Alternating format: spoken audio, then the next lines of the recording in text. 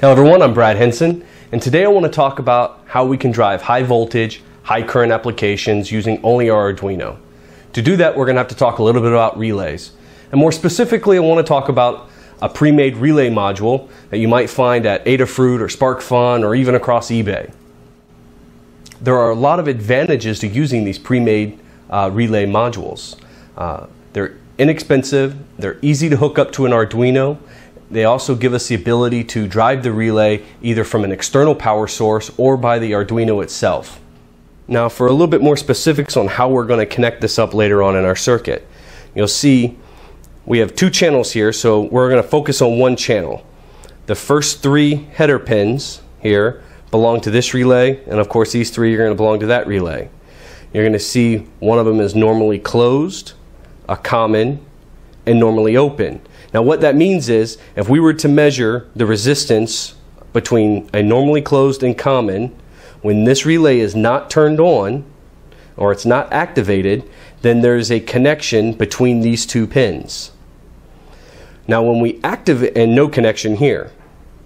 When we activate this relay, that's going to flip, will no longer have a connection here, and it'll move to the normally open position. Well, when this is activated, it'll move over here. Now on the control side, when we connect our Arduino, if we want to connect uh, our Arduino in circuit with the relay, we would have a jumper that connects VDC, JDVCC, and VCC together, which is the positive rail going to the relay. And then we would connect our Arduino ground to ground and then our, our digital input pin to IN0 or IN1. Now, of course, that input pin is what's going to activate the opto-isolator, which activates the transistor, which then allows this positive rail to go to ground via the transistor. If we wanted to put this, or if we wanted to isolate our control circuitry, in this case the Arduino, from the rest of this board, we would remove this header and we would apply our 5 volt rail from the Arduino to VCC and 5 volts from an external power supply to JDVCC. And then the ground from the external power supply to the ground pin. And then we would still hook up our digital control pin to either IN0 or IN1. Now what this is going to allow us to do is the VCC and the IN0, IN1 are now isolated from JDVCC and ground. And so our external power supply is going to supply power to JDVCC straight to the relay. And then the ground for that, to make that connection, is going to go via the transistor. And then we'll use our control circuitry on the other side of the opto isolator to drive the digital pin to activate that transistor. So now we've had a chance to take a look at the module. What are we really getting out of it? To do that, we need to take a look at a schematic. So what I have drawn here is the basic schematic of that relay module board. Now this is only one channel. On this side of the schematic, you're going to have your inputs where we connect our Arduino. And on this side of the schematic are our inputs or our connections for the device that's going to be under load. For instance, a lamp. Now there are a few key players here. One is the opto isolator. Not all relay modules have it, but a lot of them do. Uh, if yours doesn't, I would suggest looking at getting a relay module that does have opto isolators.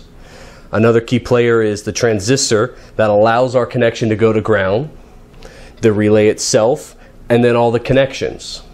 For the connections, we have VCC, JDVCC, our INO or IN1 inputs from the Arduino, and our ground connection. And of course on the load side, we have our normally, our, our normally connected, our common connection, and our normally open connection. So what's happening when we hook up our Arduino uh, and a, an external power supply uh, and, and try to get everything working? Well, if we have an external power supply, we're going to connect that external power supply, 5 volts, positive side to JD VCC, and the negative side, the return side, to ground. That is the power that's going to be used to drive the inputs of this relay, our positive side and our negative side of the relay. But to get this circuit to go to ground, we need to activate the transistor. That transistor gets activated by the optoisolator. We activate the optoisolator by using an Arduino with our input pin. So we'll drive 5 volts into the optoisolator, which will activate its internal transistor, which then will send the signal and activate our main transistor, which then allows the circuit to go to ground. And then that will activate the mechanism on the inside of the relay. You're saying, wait a minute, JDVCC and VCC, yeah, what is all that? You know, that starts to get a little confusing. What you'll find on a lot of relay boards is a jumper connection for both VCC and JDVCC.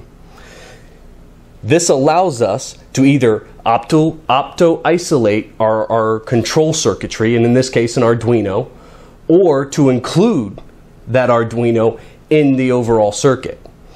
Why is that important? Well, if I'm not opto isolated from everything that's working over here and something goes wrong, that can then feed back directly into my Arduino through this connection.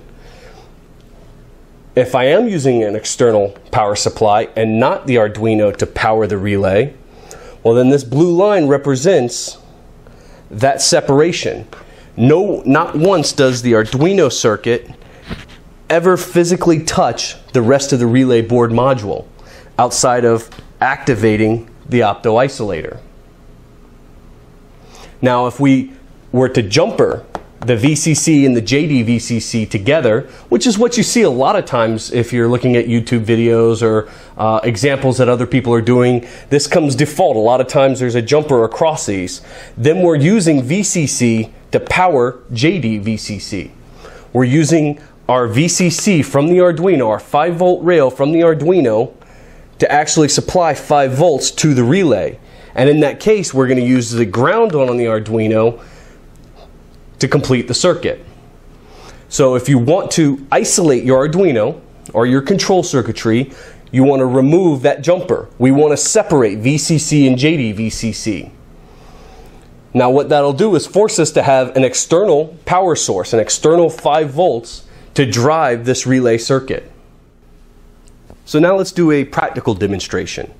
Uh, to walk you through what I have set up here, I've got a standard uh, 110 electrical outlet or outlet uh, lamp. On the negative side, or it's AC, it's not negative. On the on the return path, I have that going straight to the wall outlet, and then on the hot side, the positive side, I have it broken going into the common, so the center pin of one of the channels, and then I have the other connection on the normally open going to the uh, standard outlet. Now what this is allowing me to do is that when this relay is off and it's not active and you see that the LED is not on, there is no electrical connection between these two. Now when we activate this relay, it's then going to switch from these two being electrically connected to these two being electrically connected. And then that's going to create or, or create our circuit and ultimately turn the light on. Now I've opted to use an external power supply to drive the relay itself so that I can protect my Arduino, use the opto isolator. And so I'm using a 5 volt power supply or external power supply at 5 volts.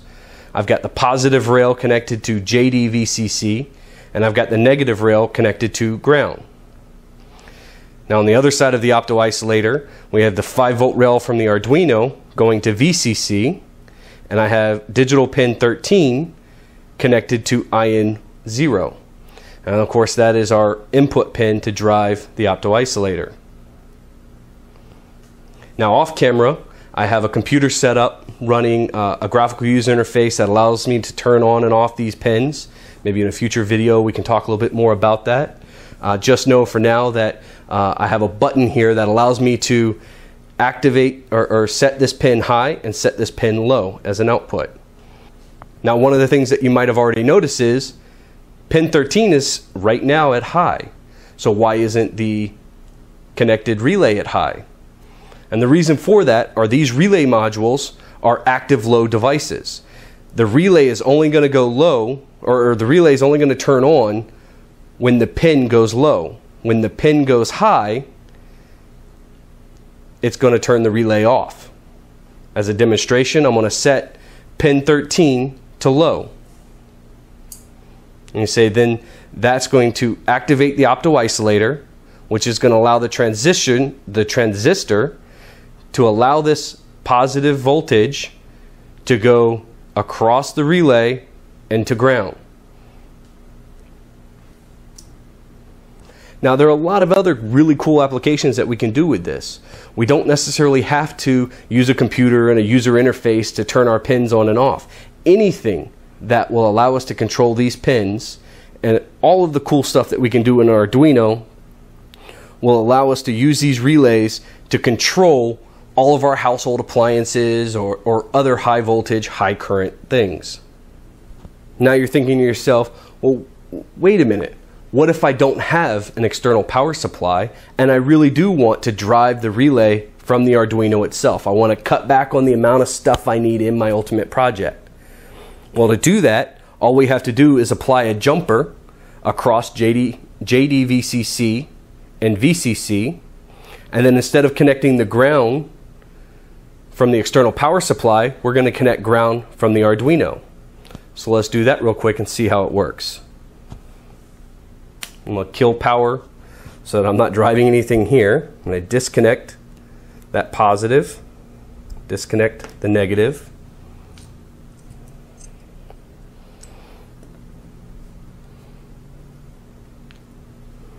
Be safe, I'm going to disconnect my Arduino.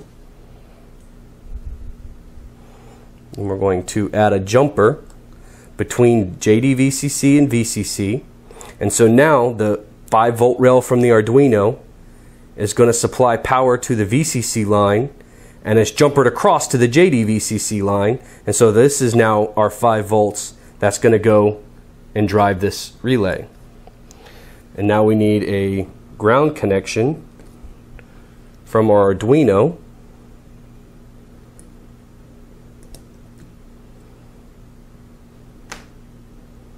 to the relay. Connect our Arduino back up. All right, so one of the downsides to using a microcontroller to drive, directly drive our uh, external load is when the microcontroller first boots up, it's going to go through a powering sequence, which is what you just saw. So if you don't want that kind of flicker, you're going to have to add some additional circuitry to control that. So now with it rewired, we're using VCC to actually drive both the opto isolator and the relay. When we set pin 13 to low, we activate the relay. And when we send, set pin 13 to high, we deactivate the relay. So in summary, this has been a, a quick tutorial on how we connect a relay module to our Arduino both in a grounded and isolated configuration. There are a lot of great resources out there on the net on how to take this to the next step. A little more information about working with relays and, uh, and Arduino. I encourage you to seek out and use those resources. Uh, until then, if this video has helped you along in your path to electronics, uh, make sure you press the like button and I'll catch you next time.